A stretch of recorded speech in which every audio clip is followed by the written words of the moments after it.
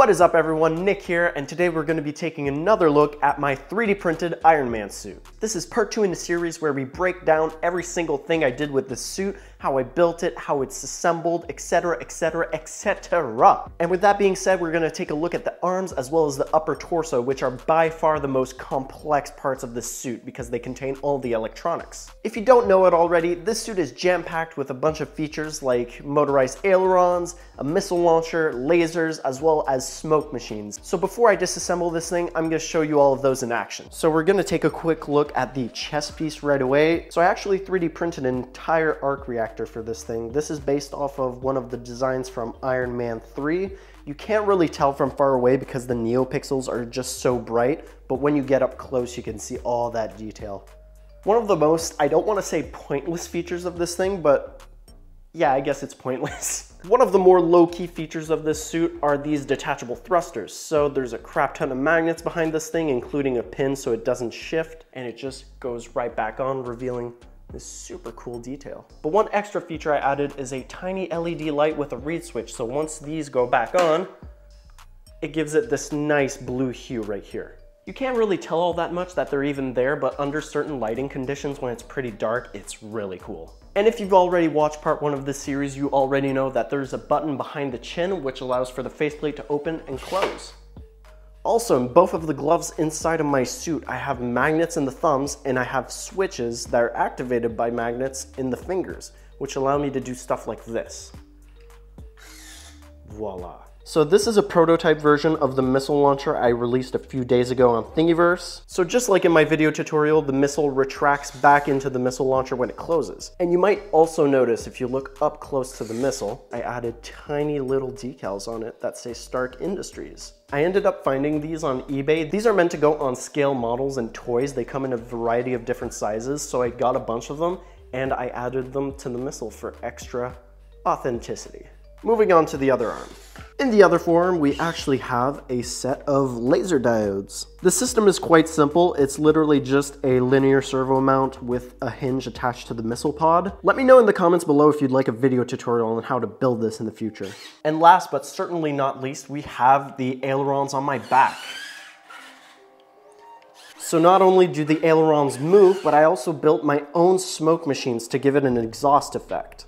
All right, so now I'm gonna show you how to take this thing apart. That way I can give you a breakdown on how everything works. Very first thing we're gonna do is take the head off, and then we're gonna take the neck off. Now let's say I were wearing this suit. The first thing we would have to do is unclip the inner forearms to open them.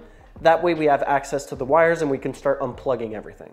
Luckily for this arm, everything is connected to a 12 pin connector. So once I unplug that, everything turns off. Then we would have to take the gloves off. You'll notice that there's a little buckle attaching everything, so that just pops off and we can start removing the hand.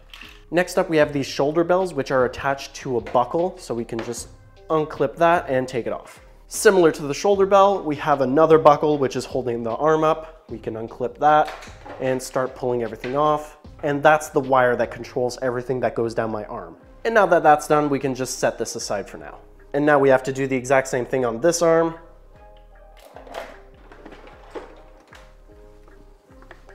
Before I show you guys the internals of this thing, I'm gonna show you how the chest and the back come apart. So first off, you're gonna take these bits off.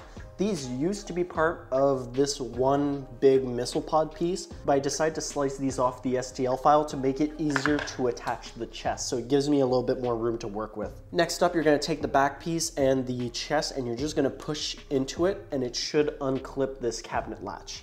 Same thing on the other side and then unbuckle the magnets on the sides.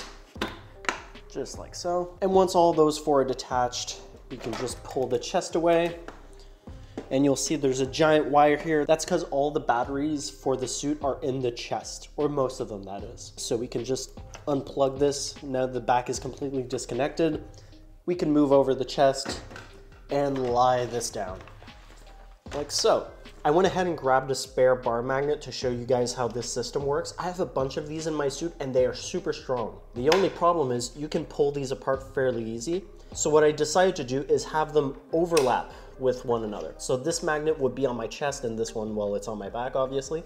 The only way you can remove this magnet is if you pull it away like this. Now, as you might be able to tell from this leftover raft, I used to have the exact same bar magnet system for the top of the chest to attach it. The only problem is these missile pods on the shoulders were in the way, so I couldn't pull the chest away to take it off, and it was extremely difficult to do so. So I decided to scrap that. I instead decided to use these cabinet latches. So basically there's a ball joint that goes in here and it clamps around it. And if you push back on it, it springs back out. Thankfully, I decided to design these rafts so I could screw the cabinet latches on instead of gluing them on because on a few occasions, these things have broken on me. I've since fixed the issue that caused them to break so often, but thanks to me adding threaded inserts into the prints, I was able to just screw the broken one off and replace it with a new one in like five minutes max. You might also notice I have these buckles where the back piece meets the chest, these plug into my harness, and this is basically a preventative measure. The very first time I did a test fit on the entire back piece, I stood up straight without the chest on, and the back just fell off of me. So these buckles clip into my harness and keep the back on me at all times. So there's no fear that this might come falling down and just shattering. Before we move further along with the back, I wanna show you the internals for the chest. First and foremost, we have this arc reactor, which is basically three layers of craft foam stacked on top of each other, and all of these layers allow me to give depth to the NeoPixels, that way they're not stuck right against the diffuser. If you get really, really up close, you can start seeing the individual pixels, but as you move further away, they start becoming diffused as one. And this entire system basically press fits around that plastic ring. So just like so. And then we have the Arduino right here, which controls the NeoPixel light for the arc reactor and both of these little blue detail lights.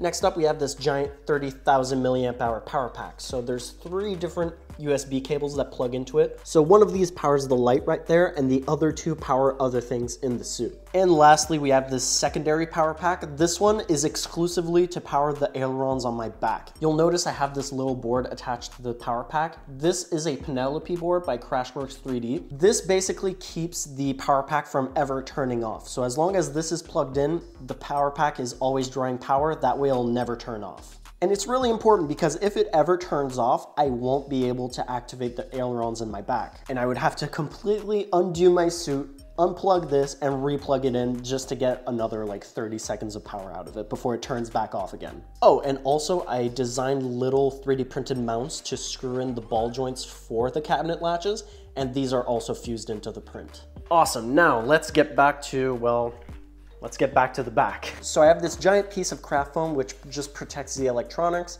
and I have these two giant bricks of, uh, I have no idea what kind of foam this is, but it's like super thick, super malleable. The reason why these are there are to protect my shoulders because before I put these in, this tiny strip of plastic was the only thing that was making contact with my body when I had this on. This means I had nearly 20 pounds hanging off my back by these tiny narrow strips of plastic and they just dug into my traps. It was so painful. So these giant blocks of foam just distribute the weight evenly across both of my shoulders and it's much nicer to wear now. But with that out of the way, let's take this piece off. Yeah, it's bad. It may look like a total mess because it kinda is. That's because I wanted every single component in this suit to be modular. That way I can take it apart and do whatever I need to. Thankfully, I decided to add labels on most of the wires and the Arduinos. That way I know what's what. So not only do I have two power packs in the chest to power all of this, but I also have four different batteries throughout the whole back. First off, I have this 9 volt battery, which is powering the Arduino for the ailerons. The reason why I have a separate power source just for that Arduino is I used to have the Arduino powered by the same power pack that was powering all the ailerons, but it would jitter and stutter and it would like constantly flicker on and off. So I decided to have it powered completely independently from the ailerons and that solved the issue.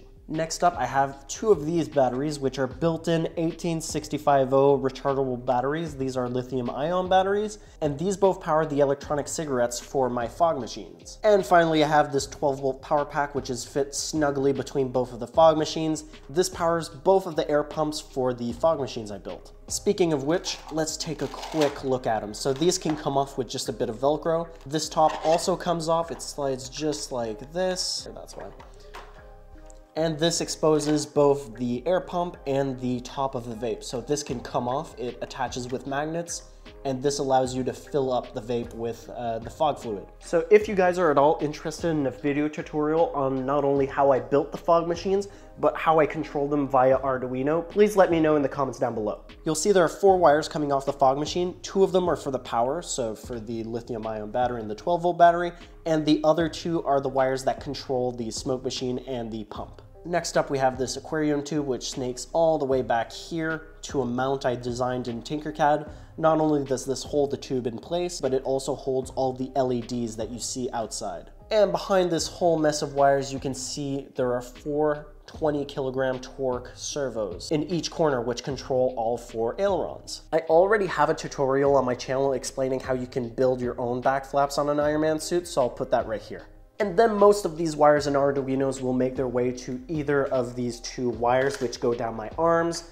So this one would be for the missile launcher and the NeoPixel in my hand. And then this one would be for the switch for the ailerons and also the NeoPixel and the laser in my arm. And I have one last cable sticking out of the back. This attaches to the chest and this is what brings all the power from the chest into the back. Now let's put this back together.